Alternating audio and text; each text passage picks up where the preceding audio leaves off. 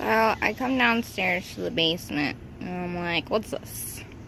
There's dog shit on the floor. Right? I let my grandparents know. And they're like, well, it had to have been you.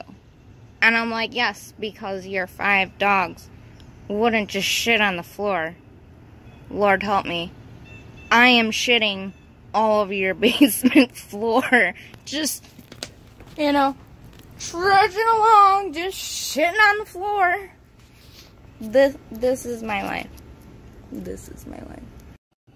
Cause then, they're like, well, fucking clean it up. And I'm like, that's not my shit. Not my dogs. This is why I don't have dogs.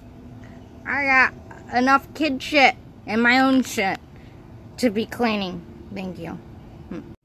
I'm like, you know what sucks about this? As soon as I tell Facebook, they're gonna be like, well, Nyssa, quit shit on the floor. And I'm gonna be like, you know what? You're absolutely right. Fuck. So here I am, shitting on floors. Thug life,